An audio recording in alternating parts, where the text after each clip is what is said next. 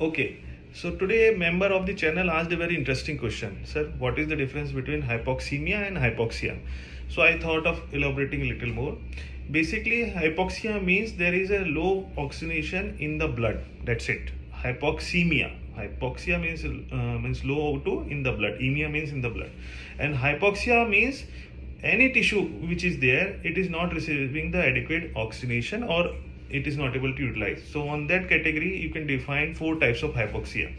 One is hypoxemic hypoxia means there is low oxygen in the blood and that's why the tissue is not receiving oxygen.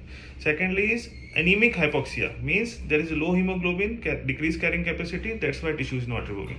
Third is stagnant hypoxia means cardiac output is low, the body is not able to pump the oxygen to the tissues. And fourth is cytotoxic hypoxia, means there is oxygen but the cell are not able to utilize it like in sepsis. So do read more about it. Thank you.